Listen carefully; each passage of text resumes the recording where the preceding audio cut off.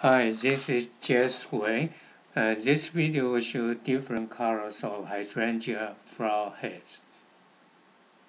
Most hydrangea species uh, produce white flowers, but uh, hydrangea macrophylla blooms in different shades of red, pink, purple, or blue.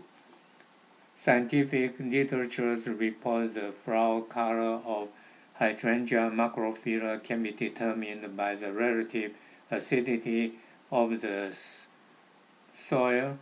pH below 6 will usually produce flower colors closer to blue, whereas soil pH above 6 will produce flowers more pink.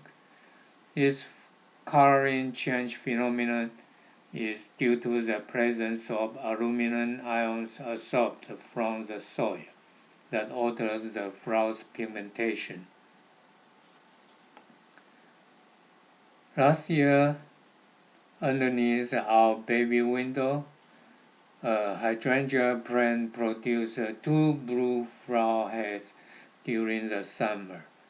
By early winter, one flower head uh, exposed to more sunshine turned red, while the other flower head exposed to less sunshine turned into bluish uh, red mix. Based on this observation, we conclude that either sunlight exposure or temperature may also play an important factors in the coloring change of hydrangea flowers in addition to the soil pH.